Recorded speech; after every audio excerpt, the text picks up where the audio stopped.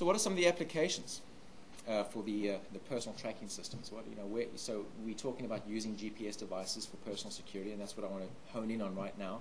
And so what, you know, well, Desmond, when, when would you typically use these? So uh, you typically, typically use the personal tracking systems in asset and property protection, cargo transfers, uh, surveillance, security, and mon monitoring purposes. A couple of examples is uh, right now uh, high value shipments, so whether it be art, um, it could be racehorses, anything of value. Uh, people want to know where is where is my high value object right now, and it gives peace of mind.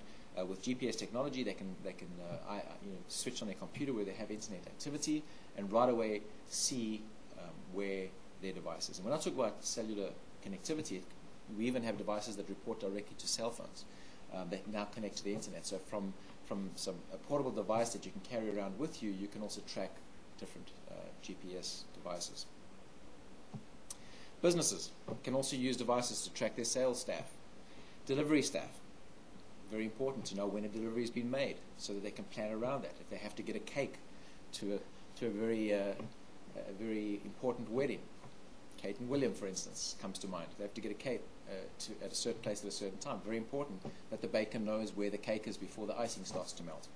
Um, just an example.